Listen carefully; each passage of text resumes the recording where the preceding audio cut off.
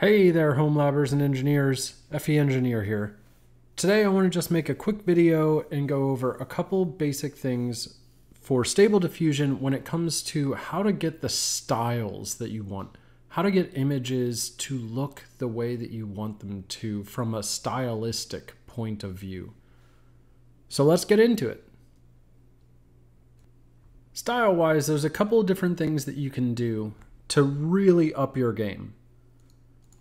Two of the big things you can do are here in the extensions.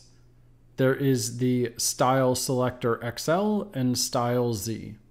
Both of them are good. Both of them seem to work as best I can tell. I haven't had any major problems with either of them. And you can get them both by installing just as you normally would in Automatic 1111. Either you can find them under the Available tab and type in Styles or you can install from URL and I will have the URLs for both of these in the video description below. So let's take a, a look at what they do.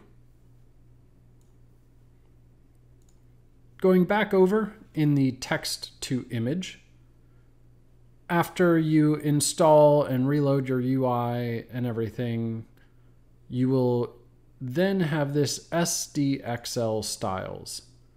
And if you wanted to enable it, all you need to do is click the enable button and then it basically just gives you a whole bunch of styles.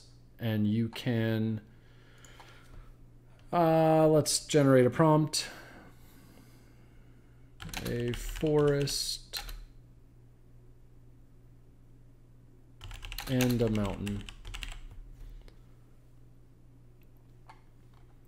So this is using the dreamlike diffusion model and we will just start out with abstract, a forest and a mountain, generate.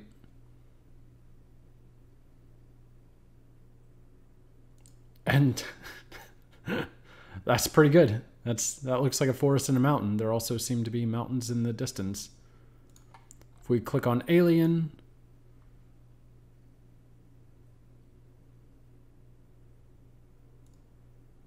We certainly have a pretty alien type photo here. And if we choose, let's choose Minecraft.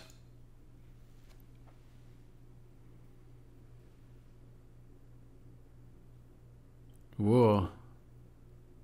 That's, well, personally, I don't like it. I think that's kind of not very good. We'll do hyper realism. Maybe that one will come out better. Wow.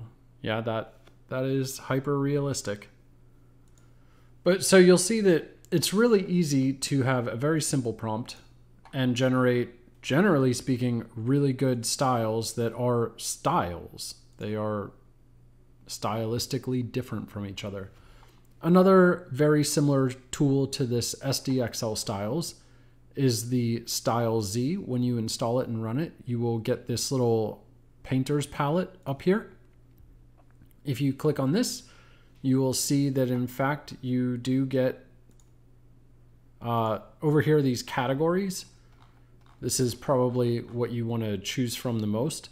And the categories, you'll have favorites, which I don't have any favorited. You'll have artists, which will I'll let let you choose a style that is specific to a different type of artist. And then they have the styles tab, which is overall what most people are probably thinking of stylistically. Uh, we can choose futuristic sci-fi and generate an image from it. And that does look like a futuristic sci-fi forest and a mountain. I think both of these extensions do a really good job. I think they will help you to create interesting and unique styles and to take your artwork in directions that maybe from prompting alone might be somewhat difficult. Along with that, let's put in our own custom styles that we may want to use and reuse over and over. Let's clear this stuff out.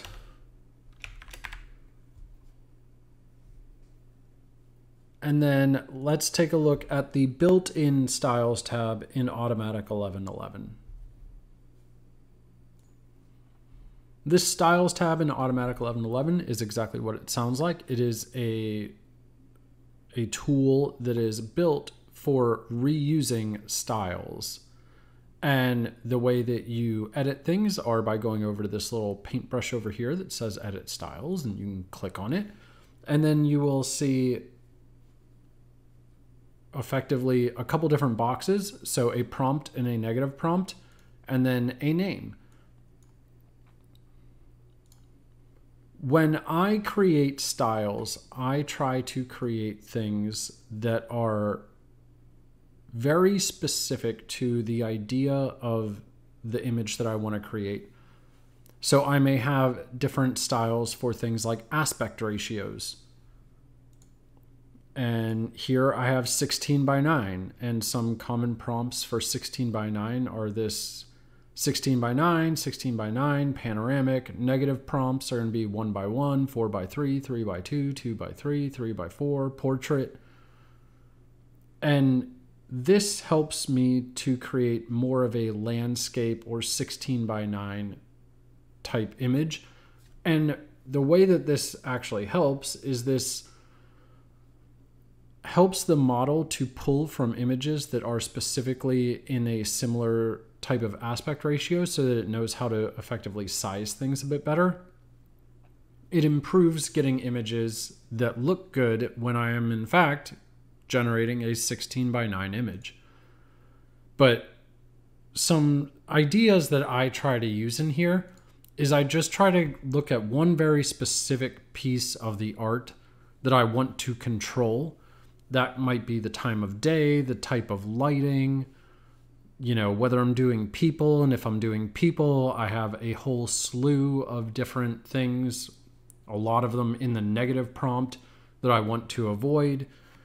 But I find that creating very simple ideas for what I want to do, you know, that only talk about a very, very specific piece of the artwork, you know, helps me to get art that is what I'm actually targeting.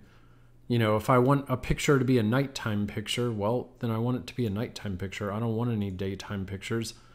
I don't want full sun or daytime or sunset or sunrise. I want it to be nighttime with moonlight, ray tracing, HDR, things like that.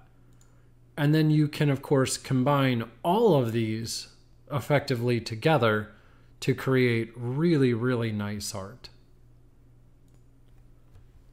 So let's take a look. So my entire prompt is a city on top of a mountain. I have no styles of any sort applied generate.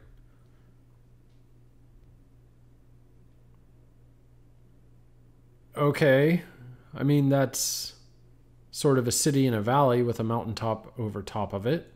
Now, let's say I wanted it to be at a specific time of day called the golden hour.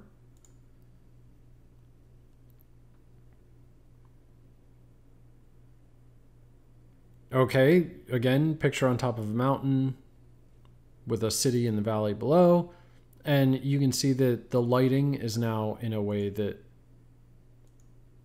that matches what the golden hour is. The golden hour is the hour after sunrise or the hour before sunset when the light comes at a certain angle and so you get more oranges and reds. So now let's add in our style for landscape photography.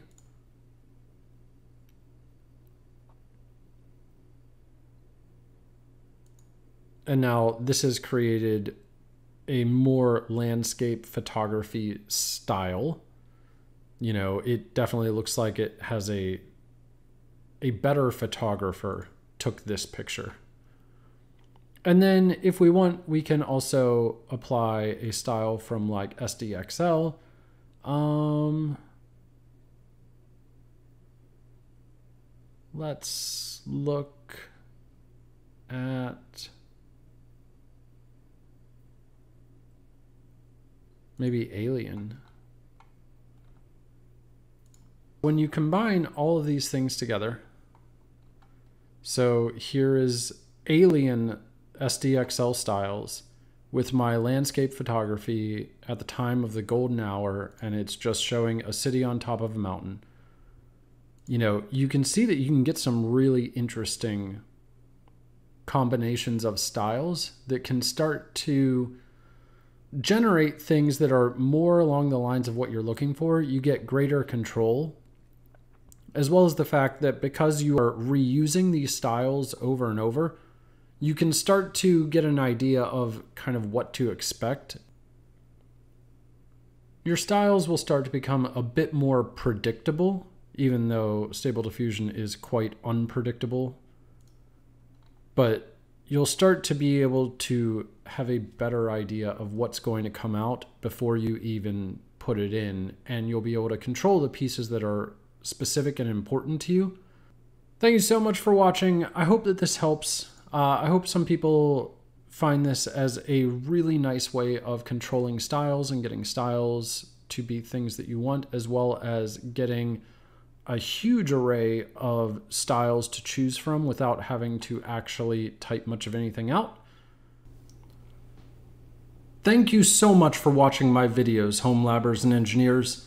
I create and edit all of these videos on my own, so any likes and subscribes will massively help out the channel and allow me to continue creating content to help people.